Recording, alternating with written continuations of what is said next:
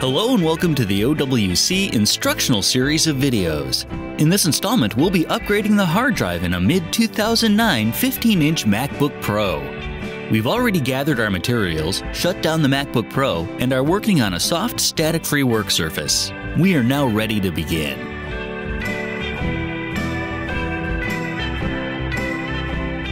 The first step is to close the MacBook Pro and flip it over.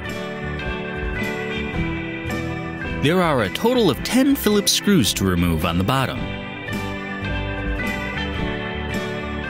Starting at the top, remove the three screws on the right, which are considerably longer than the other screws.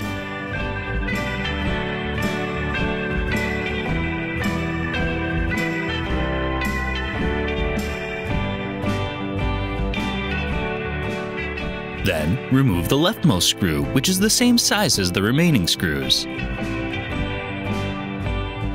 Finally, remove the six screws along the bottom.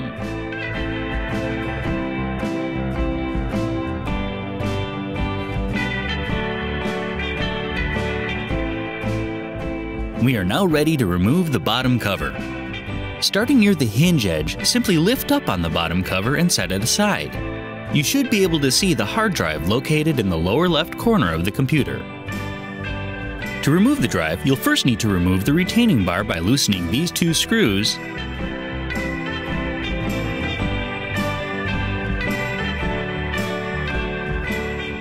and lifting it clear.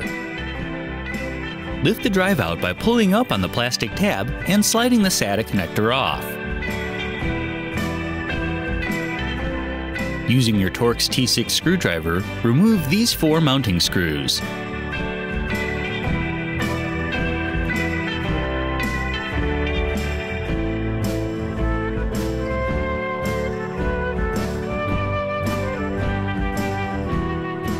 Once the screws are removed, gently peel off the pull tab and set the drive aside.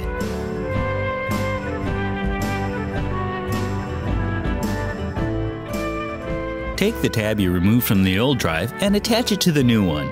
There should be enough residual adhesive left to allow it to stick. Next, attach the four mounting screws to the drive.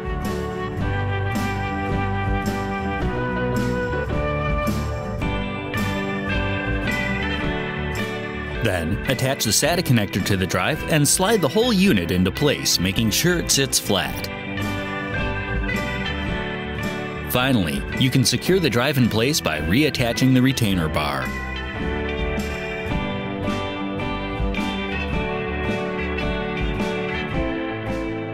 Set the bottom cover into place and press down over the snaps to help keep it in place.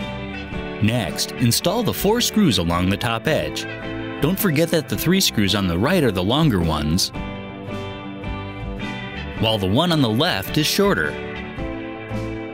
Finally, replace the six screws along the front and side edges. You should note that these screws do not go in straight down, they go in at an angle.